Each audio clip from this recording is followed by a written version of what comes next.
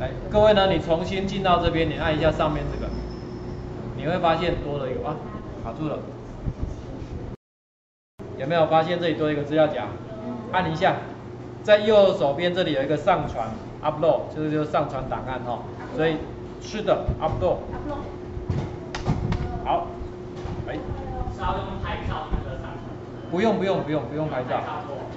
这里照片呢有两个，一个你要储存一下它的专案档，这样专案档储存起来就好像各位你们在用什么 Office 的档案，下次来给你再打开。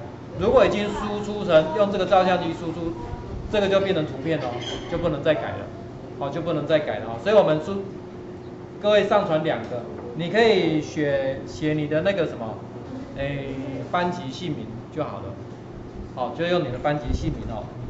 然后呢，你刚在这边，好你进到刚刚那边，刚刚这边这里按一下，按上传。你就可以选择，比如说我的放在桌面上，我就找到这个，这就是它的专案档。然后呢，我有输出的档案，我就选第二个，就在这边。好，选好了之后呢，你按上传档案，这样就 OK 咯。所以按一下，这样就成功了。所以你可以回去看看有没有在这里，好吧？来还给你喽，我们来一起。